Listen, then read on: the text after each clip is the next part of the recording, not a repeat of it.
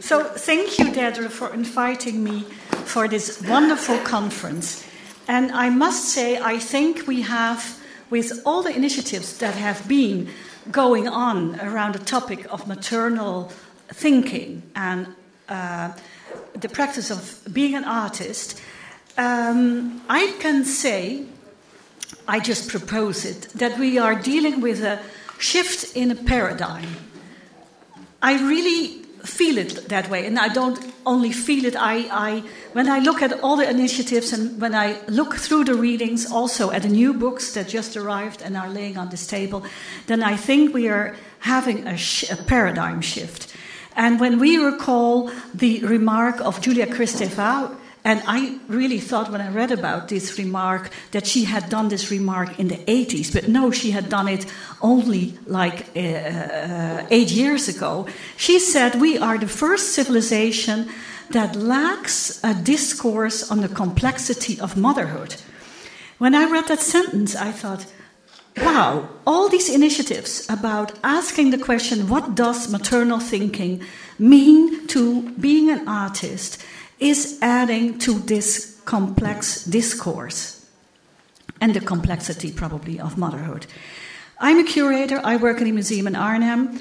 Um, I speak later, maybe during dinner, about some projects I did, but first, I would like, for now, I would like to propose, sorry, some examples of artists showing you how they dealt with being an artist and being uh, a mother. And uh, the whole topic, of course, has not been put forward in a very, how should I say, not only in ideal terms.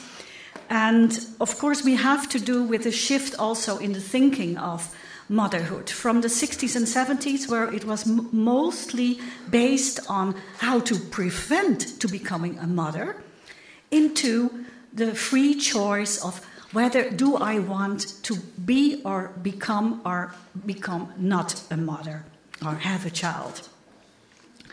But for now, I would say we this shift in paradigm is really about going from a situation where um, there is being a denial of reproductive difference and a dominant attitudes in art schools, in the art world, in art criticism, uh, the dominance of the idea of the artist as a, an unattached, disengaged, or an autonomous person, or from the persistent view in the gallery world that once a woman artist becomes a mother, her work will lose its market value and the prospect of a future career is diminishing. I'm not making this up. I was confronted with these remarks. I am confronted with these remarks when I go visit galleries. But from this situation, I think we move to a, another situation, to a new generation of women artists and a new approach, a rebellious approach, I think, to the, the, the, the very important question what does or how does motherhood or maternal thinking influence uh, being an artist? And that means also that you don't want to embrace the hermeticism of previous generations and that you um, can also show or practice how art and uh, having a family and raising a family can become one seamless activity. Of course, this sounds very ideal, I know. I'm, I'm a mother myself. I just show you one picture of uh, Lara Snitker. She makes very large uh, totems, one could say, that occupy space. I found, find this extremely funny.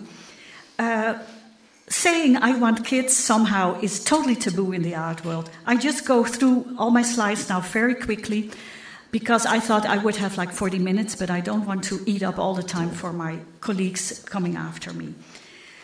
There have been many, many initiatives now from uh, uh, artists that want to um, uh, represent motherhood in a different way, somehow deal also with ideal uh, the ideal, idealistic representation of motherhood. One of them is Katharina Bosse. I actually have some slides that we have seen uh, in the presentations of our uh, colleagues this morning.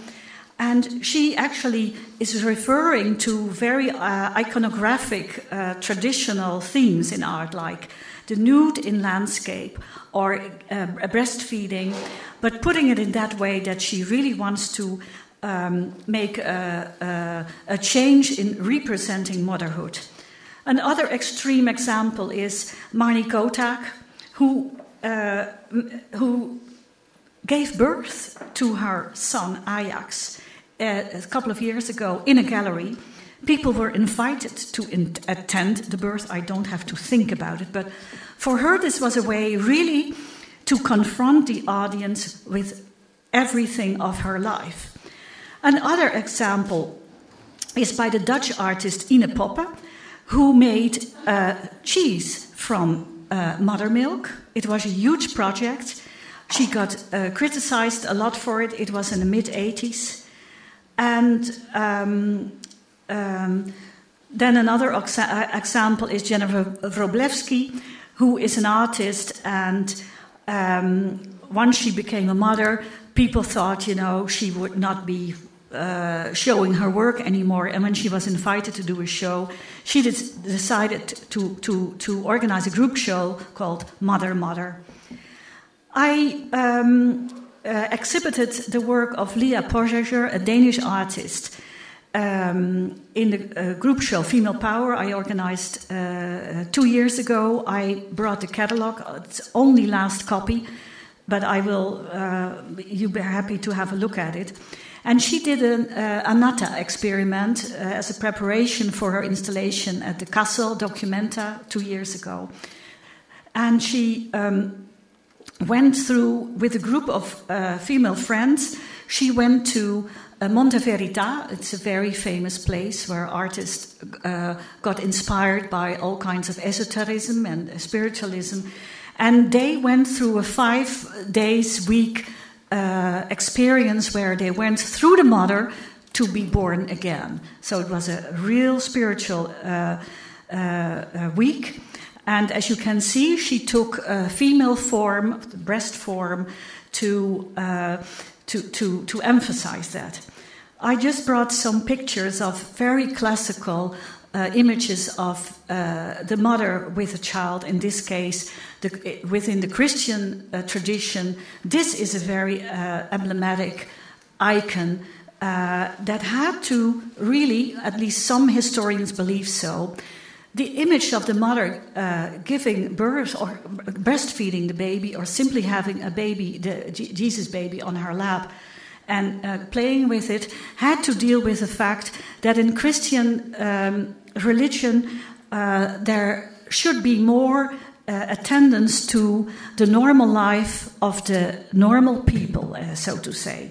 So they use this image of the mother with a child to show how close uh, Christianity is to, is to the people. Another example um, of a woman artist who dealt with her motherhood is Elisabeth Vigée Lebrun, a French artist uh, actually, many uh, women artists have um, painted themselves with their children in earlier age, in earlier uh, centuries. Uh, this is, of course, a very ideal situation, but I have to show some earlier works from the beginning of the 20th century where there are not such ideal situations. This is by Kate Kollwitz, Bread, it says, 1924, dealing with poverty. Uh, she made also many works dealing with uh, war and also uh, dealing with the fact that many women had to work outside the family home and raise children at the same time. Um, an, another example of a German artist is Hannah Nagel. She is, to me, one of the um, first artists who also questioned uh, in Germany the uh, anti abortion law that was um, uh, uh instigated in, in the mid 20s uh, in Germany. And she made leaflets and pamphlets against this anti abortion law. Of course, this all has to do with self determination. Uh, as you can see, it's all about the workload of being a mother and being an artist at the same time. this is Hannah Nagel. Uh, this is by Lea Grundig, also showing how hard the work is of women and women artists, uh, um, and how uh, becoming or being a mother is influence, excuse me, influencing uh, your work. Another example I have is Niki de Saint-Phalle. Of course, she is very famous for her nanas. Uh, her nana, she, she describes, you all know these voluptuous women. For her, they were uh, mothers. The new mothers, they it, it was like goddesses. But before she made these colorful, happy, joyous nanas, symbolizing the free woman, the free mother, or the free goddess, she made actually lots of shooting paintings and sculptures. She would put uh, paintings together, um, and you, you should really look at the details with these paintings because they are stuffed with little baby puppets. It's quite shocking, actually, when you really discover that. And she would shoot at these paintings. And for her, it had a lot to do with the fact um, that she wanted to be a free woman and she wanted to be freed of everything had, that had to do with a certain type of femininity. And shooting and shooting uh, paintings, uh, shoot painting balloons at these objects and paintings was a very important part of her work at the beginning of the 60s. Uh, you see her here uh, shooting at uh, a, a, figure that later would become crucifixion. Um, actually, she left her uh, child behind to, to go and live with someone else. And that leaving had something, traumatized somehow her, her life. Uh, we see here then uh, crucifixion, and the top part is then filled also with little baby, uh, little baby dolls. A totally different attitude. That's, this is around the same time we encounter with Léa Lublin, She's also a French artist. And uh, she did a project in 1968, and Léa Lublin wanted to uh, cross the bridge between art and daily life. And when she became a mother, she decided to live with her seven year, seven months baby in a museum of uh, modern art in Paris for a couple of weeks. And uh, with that, of course, she wanted really to, to bridge uh, uh, daily life and art, but also to show what it meant to the public. I, for me, this is one of the first examples of uh, artists that really take the public space and put into it what it means bridging this uh, so called gap between daily life and art. Another example is, of course, uh, my colleagues have mentioned it before, Mierle Laderman Ukeles.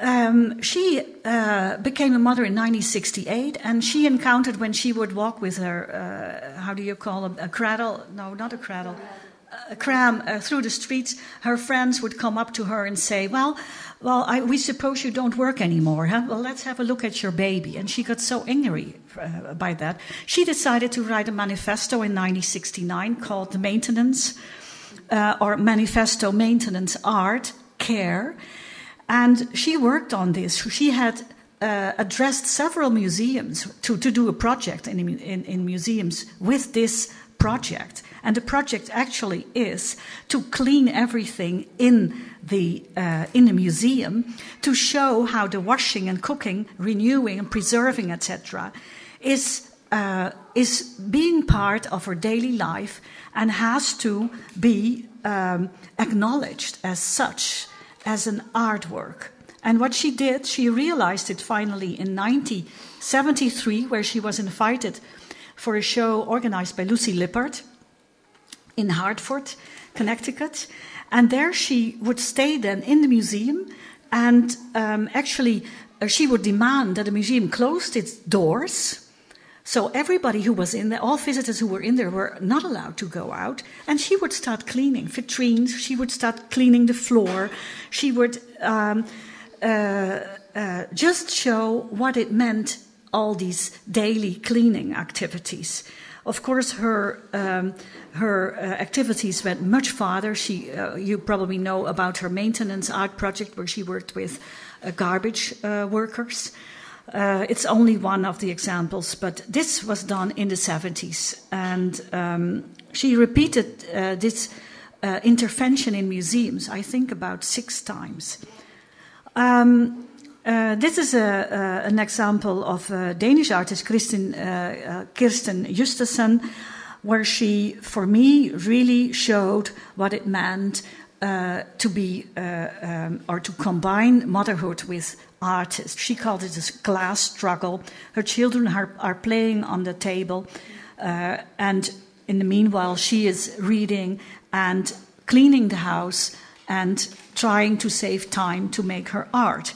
Other examples of that uh, uh, are that of uh, Birgit Jürgenssen, an Austrian artist who passed away 10 years ago.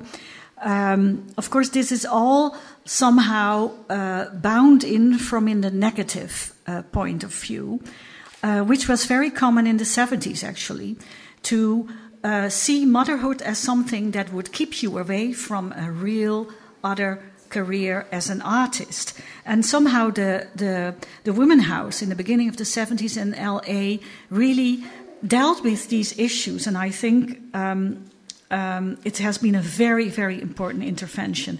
Just to show you some other examples of artists who dealt with motherhood and gener- di- different generation, I show you the work of uh, female artist, Dutch female artist Charley Toorop, who is depicting here um, her. Uh, you see it at the sculpture on the left side. That's uh, uh a sculpture of her father, who was a visual artist, Jan Toorop. To her right is her son, John Fernhout, who also became an artist, and she herself painting the three of them, putting herself in a tradition of an artistic family, but also uh, emphasizing her own uh, art, being an artist and being part of this generation and contributing to this generation of artists. Another famous uh, um, uh, example is, of course, Paula Modersohn Becker, who painted herself uh, pregnant. Actually, she, she was not pregnant when she painted this painting. Uh, many people have thought so. But um, uh, somehow she is pointing out at being pregnant. Another example of the 60s is by the Dutch artist Ferdi, Ferdi Tajiri. She made Wombtomb. It's a huge sculpture by uh, fur, with fur, artificial fur. And the idea is you can see it's a vagina on top, and you're supposed to slide into it or come out of it, like this. Here she is with her two sons, uh, daughters, sorry. And uh, this was a very uh, how should you say, very, it's called hortisculptures, and it was, it was a very funny, it is a very funny sculpture. Actually, just recently, the Rijksmuseum took it as one of the iconic images of the 60s. Um, then I continue with uh, very positive uh, images about maternity. And this is uh, a wonderful drawing by an artist, uh, the Dutch artist Kinke Kooi. She's actually present here, she's sitting there. And um, it's called Crying Baby. And she made this work um, uh, during her, after she gave birth to her first uh, child. And um, she took this significant moment that when the child cries and you breastfeed, then your breast starts to leak. And nobody had ever told her that before, that this phenomenon would happen. And she was just so incredible, um, uh, impressed by it. She, she made a drawing uh, out of it. Um, this is by uh, Thai artist Pinaree uh, Sanpitak, who, who made these sculptures in our museum garden during Female Power. And as you can see, she took the, the, the, the, the breast form but for her, it's not only the breast form, but also the top of a religious building in Thailand, the stupa, that is uh, really similar to a breast form, which is quite significant. Uh, another artist that has, of course, uh, contributed to the whole discussion on how motherhood is being represented it's Catherine Opie self portrait nursing, where she gives her son uh, uh, the breast. It's from 2004. And the way she has carved, you can not very well see it, but she has carved pervert on her breast. And then, of course, she has a tattoo, which is totally different from the so called idealistic images of the, of the good mother in our West European society. The same is for Margi Geerlinks. Geerlink, she's a Dutch artist, where she uh, portrayed an older woman and then having a baby uh, to the breast, all dealing with issues that are far away from these uh, regular representations of so called idealized motherhood. Um, former speakers have, of course, mentioned Mary Kelly's very important project, where she dealt from a day to day basis on, uh, say, the development uh, of her son, not only on the development of her son, but also about the separation between her and her son. Because that is really what this uh, project is about, in my opinion. That you that uh, being a mother means at the same time that you are that you learn yourself to separate from the other, from your child. The next slide is from a Turkish artist Canan Şenol. She made a video also after uh, she gave birth. And the video shows how the milk is dripping from the breast. And I can advise you to look up at internet what is being said at internet about this breast or milk leaking breast. It's quite remarkable. You know what it says? It says this breast reminds us of the fountain of Marcel Duchamp. And it reminds us of Bruce Nauman's fountain.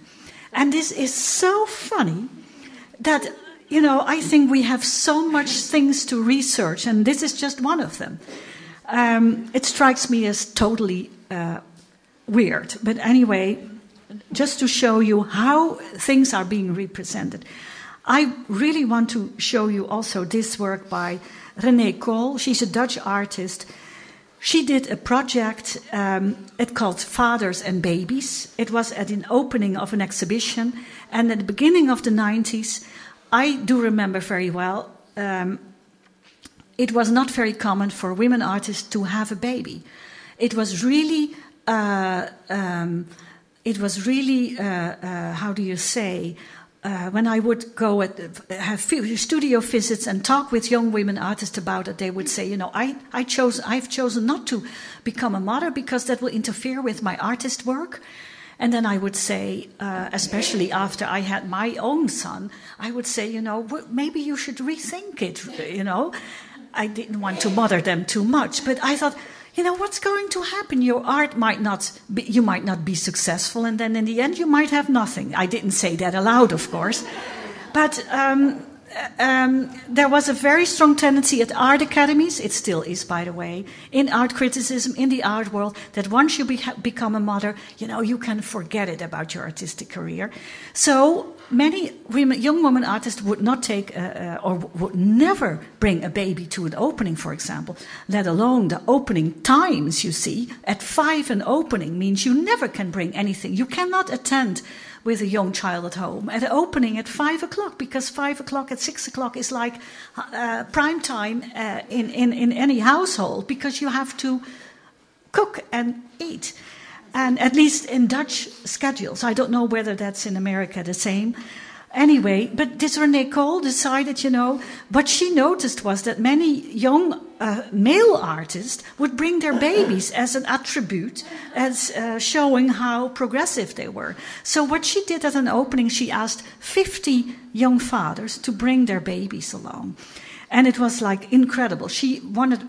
She also had put a washing table in the gallery room, and she had sprayed some lovely baby powder, but it was all ruined because all these fathers started to smoke. You know, this was this was the time that it was not forbidden yet to smoke in in rooms. You see, and it was not forbidden to smoke in, in, in close to your baby either.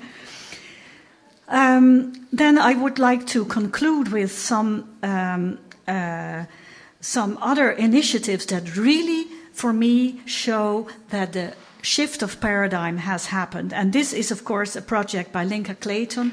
Uh, um, my colleague already mentioned Lenka's work. And uh, this is an artist statement. She did an uh, artist residency in motherhood after she became a mother, she discovered that you know it was impossible to go anywhere. So she decided to have at her home an artist residency in motherhood, and um, and then she would uh, make artworks like this. Uh, 63 objects taken from my son's mouth. She would put it really uh, in, in, in a square. Another example of um, uh, I mean, this is uh, something I took from, from the internet, where she uh, is having then also a show uh, where she would show all the things that she made during this so called uh, residency at her home, of course.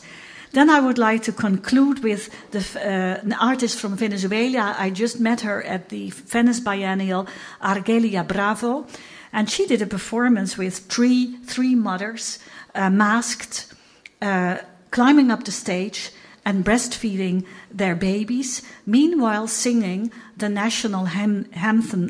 How do you call it? An, an, anthem, national anthem of Venezuela. Actually, the, this national anthem is being based on a sing you sing when you uh, bring your child to, to bed. A child, how do you call it? Lullaby. A lullaby, yeah, a, a, a lullaby.